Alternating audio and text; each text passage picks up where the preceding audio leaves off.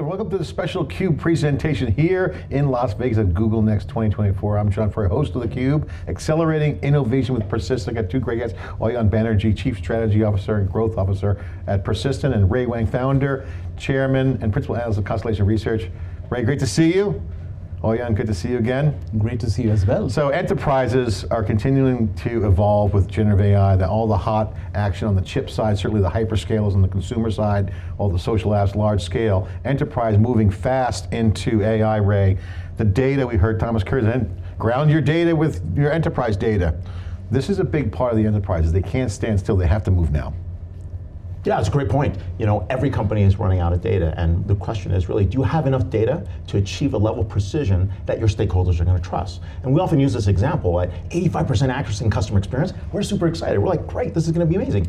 85% accuracy in supply chain means you don't have a manufacturing operation. 85% accuracy in I mean, finance, someone goes to jail. 85% accuracy in healthcare, it's not enough. And so it's really important to make sure you have small language models, very small language models, to complete that level of precision and data. But start with the data you have, and then partner for all the other sources. Your team at Constellation is doing a ton of research. Uh, we've been tracking a lot of the stuff you've been going, going after. A lot's coming out. What are you finding? Because some of the data we're seeing here at Google Next is super excitement, the confidence level's getting there, not 100%, but there's still a lot of prerequisites needed to fully have generative AI? What are you seeing in the research? What's your research telling you? Where are the enterprise at right now? Could you scope that up for us? Yeah, we completed a number of AI surveys, and I think the most important part is this year everybody got budget. Last year they stole budget and tried to make something happen. This year these projects are funded. And what's important is start with your data strategy. You've got to have the data down, understand what data you have, and then what you're really focusing in on is having the right governance principles,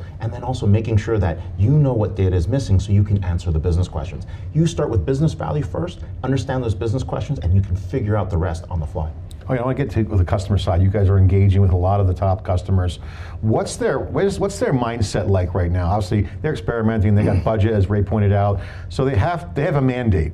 Go figure out the bridge to the future. It's generative AI. Clearly, there's no debate on that. But what's the first three steps do you take? What are they thinking? How are they applying and, and crafting a strategy? What are those first three steps to get there? Yeah, look, I mean, rewind the clock six months, and it was all about saying, you know, what's your Gen AI strategy? 150 use cases. Talk fast, fast forward to today, it's all about saying that 150 use cases is of absolutely no consequence, but look at where is it that you're going to be deriving the maximum business value. And it's really coming down to the two, three, four of them, right? And the question is, how do you take those two, three, four, establish feasibility, drive certainty, your 85% example is a classic one, and the question is, where do you really have the maximum bang for the buck? Also picking up on your comment, Ray, you know, from a budget standpoint, I think that what you're going to continue to see is that budgets are going to be tough, right? I mean, as much as there is money waiting to be deployed, but that is going to be very selective. So again, question is, you know, companies need to be very deliberate, and the conversations we are having right now is moving from saying that, you know, why don't you help us establish POCs across a whole bunch of things to saying, here are five where we've already established a degree of certainty, help us take it to production. Before we get into the evolution of the IT services market, I want to just quickly get an example. A lot of naysayers out there or people who are afraid of AI. Oh my God, they're going to, Skynet's going to take over the world. Oh my God, we need regulations. AI's got to run a little bit. We all, I'm pro AI, obviously. I want to see it. Get, we got to watch the guardrails. But most people are like, I don't really see it what is generative AI? Can you guys give a proof point that would be so obvious that say, okay, that didn't, that was not possible pre-Gen AI. What is generative AI? What does that actually mean? And give an example of an obvious thing that would convert someone a naysayer. You want to go first? Oh, you go first, definitely. Okay, yeah. So look, I mean, um, think of the life of a software developer, right? A software developer or a software development team was coming up with a new release on your Apple phone every two months right? I think so that is now going to get shrunk massively. You're going to start seeing that generative AI is going to come in and make you know, the life of the software developer much more productive. You're going to have agents coming in and assisting them in their entire software development lifecycle. And you're going to start seeing the shrinking of that. You're going to start seeing more you know, error-proof software releases. It is happening. It is no longer a figment of imagination. So to all the naysayers out there, we can look at the 85% example that Ray gave and say that, oh my God, 15% is still bad. Fact of the matter is this is temporal, this is today. You know, I mean, the same race, three months later, this 85% will look like 98% oh, yeah. and counting. Ray, what example would you give? Because, I mean, you see a lot, but in, in to someone and said, okay, give me a business example of that's so obvious and I have to believe it 100%, go. I had 120 use cases. No, We're down to one, right? I think um, the one number one use case we see is procurement, right? And why is procurement so important? You throw all your contracts in there, and you're like, oh wait, we're paying this guy this rate. We're paying this rate over here. We're not getting our terms of conditions that actually match over here. And by the way, oh, we missed all these reg- regular requirements that we were supposed to do. All that surfaces up. That was like thousands of pages of contracts you had to read suddenly you can just ask the question, hey, which one of my suppliers is actually getting paid earlier? Which one of my suppliers is actually in compliance? Uh, do we actually follow our export rules and regulatory requirements? That's what makes it so powerful. So what would have taken you a year and a project, you could do that now in a day or less. You know, interesting, on Thomas Kurian's keynote here at Google Next, he talked about the Vertex AI having 130 models. One of the things he mentioned is um, the context window of a million tokens. You can mm -hmm. put 700,000 words, okay, that's a lot of contracts, Ray. So, so, so you're envisioning they just ingested in, and all that is reasoned on behalf of the user. I think you can ingest patterns of contracts. You'll say something like, well, see like those patterns actually emerge. Mm-hmm. And then what you'll be able to do is learn from that, pull that back into the model, train, and then you want to use them as tokens on the second time. You're gonna get really good at skipping words in those contracts because you know what, 90% of those words are useless. So you'll actually optimize that training down to the point where you'll need like 10% of the contract and you'll be super token efficient. Let's talk about IT services, the business that you guys are in. Um, you guys are doing well. A lot of the folks in, in your market uh, are, are helping customers cross that, build the bridge to the future, never mind crossing mm -hmm. the bridge to the future. And so I think this it's important to note that this is an experimental phase, formulation stage, real advisory, real work. Okay, so I have to ask, like, where is that going? And because at some point the IT market has to evolve too. So, okay, you can teach them how to fish, so to speak, but at the end of the day, IT has to get to the table in a new way with everybody. What's going to change in IT services if things like procurement happen, like Ray just pointing out? I mean, this is going to be operational efficiencies in IT. And are they ready even to step up to the plate and lead and execute? What's your take on the IT services market? Ray, I'd love to get your, your perspective as, as, a researcher. I think the one fundamental shift that we're seeing is we are no longer talking only to IT. Mm -hmm. We are starting to talk to IT. I mean, you know, pick a, you know, pick a large pharma company, right? So we're talking to the chief medical officer, mm-hmm. we're talk, talking to the chief product officer, we're talking to the chief data officer, we're talking to the chief marketing officer, and so on and so forth. Why? Because the problem is no longer about IT. The problem is about taking a business problem uh -huh. of getting a drug out to the market in the shortest time possible. It's about shrinking that stage four of your clinical trials. It's about finding the right set of patients to be able to actually have them stick and then be able to establish getting the drug out in the market. So I think that the foundational shift that we are seeing right -hmm. now is, you know, as much as the CIO organization or the CDO organization is still, you know, the anchor for players like us, but we are starting to really massively get multimodal with our clients. And it's all becoming, you know, a question of what business problem are you solving and what is the technology stack that you're bringing to bear. And in today's day and age, it's all a partnership model, mm -hmm. right? So I mean, today the work that we do with Google, and it's been going on for a decade right now, you know, it's really saying that how do you really get together with an ISV, with Google, with us, and get a complete end-to-end solution towards our client. That's a foundational shift that's happening in the market right now. Ray, as an analyst and your team of analysts are looking at this now, we have disruptive technologies hitting the market big time. That's going to put a change in the IT services market. How do you see the services changing and how do companies then pick up on their side? What's your, what's your analysis? Yeah, I mean, I wouldn't want to be a BPO player right now. I mean, BPO shouldn't exist, right? That should, that's, an, that's a market that should be cut by one tenth right? But it's not really just the automation and the AI that's going on there. Um, there's other work that can be done, uh, and the optimization actually happens once you digitize a lot of that work. And so we've gone from figuring out when do we have full intelligent machine automation to when do we actually augment machines with humans, when do we augment humans with machines, and when do we actually put humans into work. The design point's always been automation. The flip that's actually happening right now is actually going to be when and where do you insert a human in the process. And that's going to change the way we actually design contracts and design services. And so if you're going to build BPO in the future, done. We can actually softwaretize BPO and actually believe like all those BPO players are in trouble. When do you know that you're facing irrelevance? What are some of the signs if I'm a company? You know, the frog in boiling water, as they say. And because, you know, right now there's two sides of the street. There's the right side of history of Gen AI and the ones that aren't, uh, Gen AI, and the ones that aren't going to move fast enough. So when do you know, like, I better either pull a ripcord here, or I better make a change? When do clients, Ray, face that moment? Because we're kind of starting to see the beginning phases of people who, if they're not acting and putting things in place, they're going to be on, quickly on the outside looking in. Well, there's only about 100 companies that are really doing this right. And what I mean by that, let's take your example for molecule to market, less than a billion dollars, trying to compress that to about 500 million. We're actually facing more than just this AI arbitrage that's going on. We're actually having margin compression. And this margin compression is something we haven't seen before. I'll give an example. Like, do I need to go buy all the CRM software out in the world today, or can I take a player that can deliver at one tenth the cost? You're going to see one tenth the cost in almost every single interaction. So we have margin compression happening uh, and the world's biggest deflation about to happen with some of these technologies because of AI. But we also have demand on the other hand because we're going to do more. Yeah. And so that's the other side that people forget. So we're going to see that kind of uh, model actually emerge over time. Oh yeah, this is talking about wealth shift. Talk about the value shifting other places. This is an opportunity for companies to move fast and get on. What, what's, how do you see this? And you obviously grow, you're in growth and chief strategy. Obviously, you're in growth. This is in your wheelhouse. Look, I mean, this is going to be our calling card. I mean, let's just put it straight, right? I mean, persistent. I mean, I think the name persistent comes from persistent data, yeah. right? And we've kind of lived this now for the last 33, 34 years. And I think so today, if you think about the next five, it's going to be all, whether it's generative AI, whether it's Vertex, you know, you talk about whatever that's going on from an overall business transformation standpoint, it's all going to be housed in the data.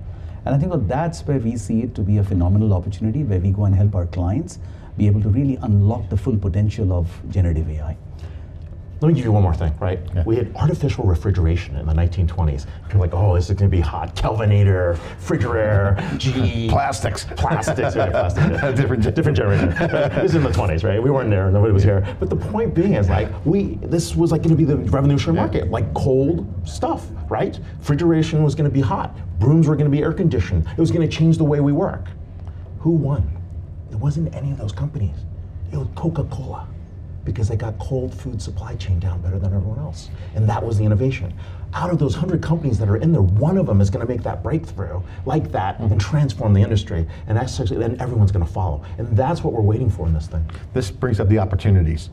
Ahead, you guys are seeing a lot of customers that, that are looking at this picture saying, where do I fit into this? The future's unfolding right in front of our eyes there's a lot of opportunities. What advice are you giving your customers um, on how to seize them? I guess first things first, we tell them that you know be very deliberate, you know, focus, prioritize. You know, don't try to do everything all the time, because a capital is not infinite. B is you will have to establish your creds rather quickly. You take a few wrong steps, and that is it. You know, you're not going to be advancing any further. So we would much rather go tell our clients to look at you know a handful of things and take it to production and establish the value before you start really taking it to the next level. I mean, it is counterintuitive. It is counterintuitive because I would want to do much more yeah. and sooner. But the risk always is that if I try to do much more and sooner and then have a few missteps, it creates a big reputational issue. So it's really yeah. about being deliberate and thoughtful about what we are actually doing. And, and taking a portfolio strategy, right? Return on transformation investments really mm-hmm. important, right? And what you're thinking about is where are my regulatory projects? Where are my cost reduction? Where's operational efficiency? Where's revenue and growth? Having the right portfolio is going to be very important. Ray, when you talk to um, customers and they ask you about IT services, the role persistent plays, um, and they look for you for advice on how to start by thinking about my engagements in this new era? Because you mentioned this, you, you, you, can bring margin compression down here. You can buy by the by the drink, buy by small packages. Remember, generally, you can restitch together new systems. We're starting to see people do that. I mean, a little bit more advanced, but I, I can envision a future that's going to happen. What do you advise them on how to handle their engagement with with IT service providers and and people who are helping them build? The next generation? What, what kind of advice? Well, I think it's very, very different. There, there are IT service providers that have a full breadth of services around the way, and then there's Persistent, which is focused on innovation, product development, engineering. Right? They're building things for companies like that, and so I don't see them as the IT services that you're just hiring people for for you know time and materials. I don't see them as someone doing that. I see them as people you go to them for an innovation partner, and that's kind of how we advise our customers. Want to bring that up? I, I teed that up. I want to double down on that because we heard on the cube here at Google Next, someone came on and said, in the data equations flipping the script because you need data to run AI. And the old digital transformation was give the data to the BI team or the data scientist. Now it's give it to the computer science team and the software engineers. It's a system discussion. So to your point, you guys have been doing a lot on the development side. This is, I won't say a new formula, you guys have been doing it for a long time, but this seems to be a critical element. I'd love your comments too. As client has to think about their business as a system, almost a system software layer with a bunch of gear now, new gear, it changes the game. It's the same game, but now you have new stuff. Yeah, I mean, look, the way we are seeing it is that everybody, the whole world was talking about generative AI for the last 15 months. But we believe that generative AI is just a tool in the toolkit. So if you really think about the stack, the system is bigger than AI, AI is bigger than generative AI. You have to look at it from a system standpoint to be able to really leverage the full potential of this entire, you know, movement that's happening right now. And your comments, what's your comment on this? On, on what's your reaction to my statement that it shifts to software, not just the BI team and the data science team? Oh, it's all software, right? We're just on different stacks. Uh, we're actually applying different business models to software. Software is Lego blocks today. We can just mix and match. The only thing holding us back is really our ambition. Uh, we're going to be able to build these things super fast. We just don't know which one's first, and I think that's what we're going to learn. It's interesting. It's, you know, what was once table stakes, the next table stakes level comes up. When does that human creativity become table stakes? Yeah, but look, I mean, before that, I mean, the comment that Ray made, right? I mean, today, an automotive company is calling themselves a software company, right? And the reason is quite straightforward. The electromechanical stuff isn't changing much. But how do you get the maximum juice from the electromechanical stuff is all software.